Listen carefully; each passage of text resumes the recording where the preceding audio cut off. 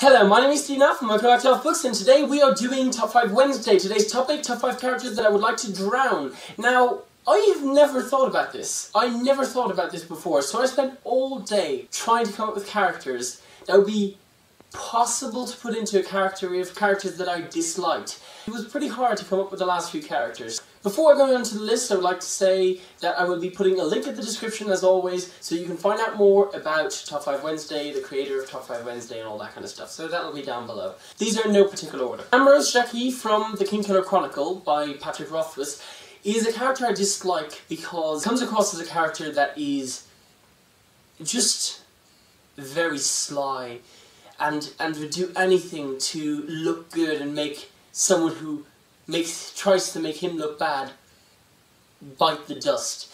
The kind of person who will do anything to destroy anyone who gets in his way, basically.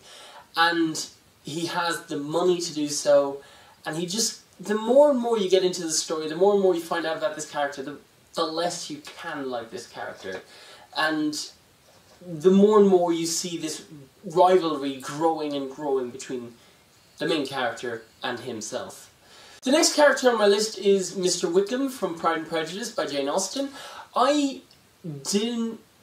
I can't really say much about this because for those who haven't read Pride and Prejudice, it would be giving away a lot that you don't find out for quite a while in the book, so I'm just going to put that out there. For those who've read it, if you understand what I mean, let me know down below if you think the same way, if it's a character you didn't like. I just, I just didn't like him. Other people might say Lydia. She didn't irritate me quite as much as, as Mr. Wickham's. Next, we have Old Goriot's Daughters, so Old Goriot by Honoré de Balzac. I dislike them for their disinterest in their father, for their, their lack of compassion for a father who's given everything to them. It's um, it's a very interesting book to read, and uh, you can't. Those characters are just they're they're they're sickening, in my opinion. To if someone gives you everything they can to the detriment of their health, more than irritating. It's awful.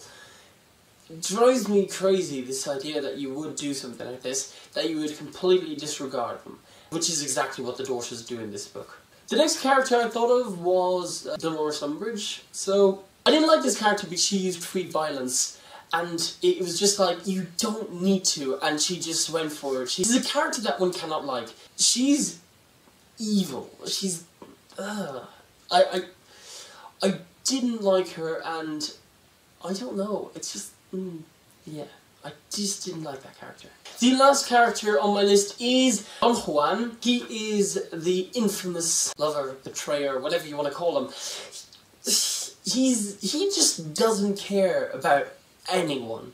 He only cares about himself, and even at the end, he he's just when he's in a situation where no, he just he just continues being a selfish egocentric monster. And he's, he's, it, it's quite sad that the character stays that way and doesn't change and doesn't understand his mistakes or anything.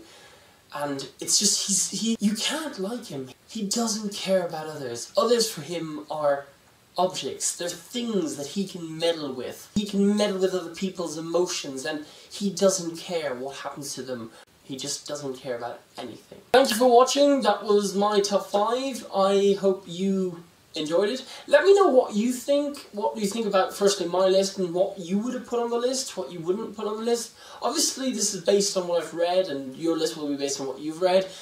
I obviously read things that I can't remember, and there might have been characters that I disliked more in other books, but I just couldn't think of them at the moment of where I was making the list. If you would like to see more of me, I would recommend the A to Z author tag. I had fun doing that, and there's loads of authors, so you might find out, you know, discover new authors, someone you didn't know, so I'll be putting a box around that, and you can check that out if you're interested in it. Um, yeah, so I will see you on Friday with a Friday Reads video, and I really hope you have a great rest of week, and that's all from me. Bye.